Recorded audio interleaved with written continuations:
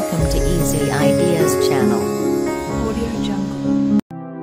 How to remove tartar from your teeth with the help of just one ingredient we all have at home. Many people deal with tartar on their teeth, and the modern stomatology suggest a number of ways for its removal.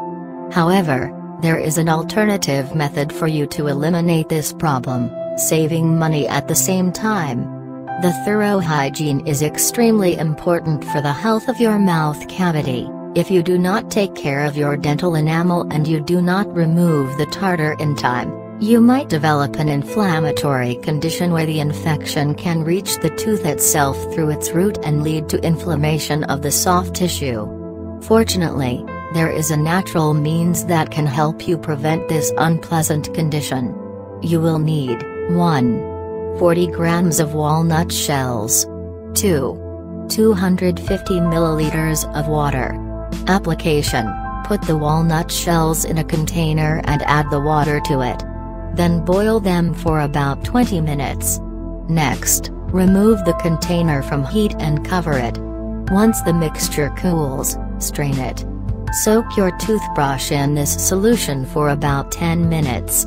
Then, brush your teeth thoroughly with the same toothbrush, soaking it into the solution from time to time.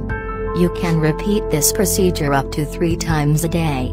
You can use the same solution for two days after you have prepared it.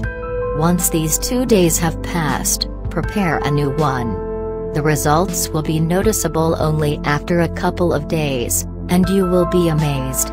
The walnut shells have powerful antibacterial properties which can also help in the cleaning of the tooth enamel and the elimination of the unwanted deposits.